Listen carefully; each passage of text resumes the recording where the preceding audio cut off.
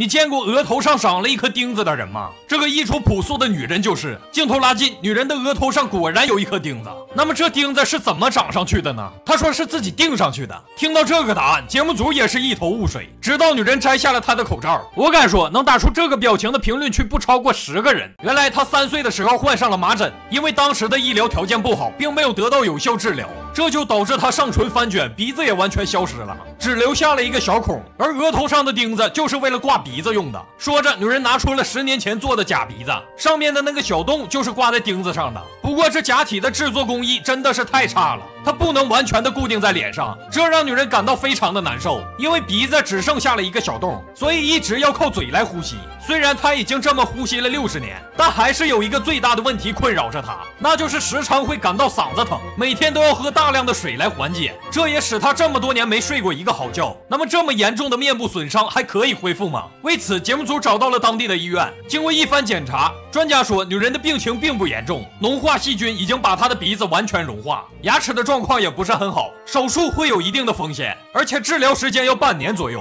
不过现在最重要的就是把她额头上的钉子拔出来，手术很快就结束了。虽然一切都很顺利，但谈及治疗和手术费用的时候，女人沉默了，她担心手术会有。风险，说要回家好好考虑一下。其实我们都能看得出来，女人是不想给孩子增加负担。虽然结局不是很完美，但是还是希望他能一直乐观自信的生活。我是小五，每天三个奇闻异事等你来看。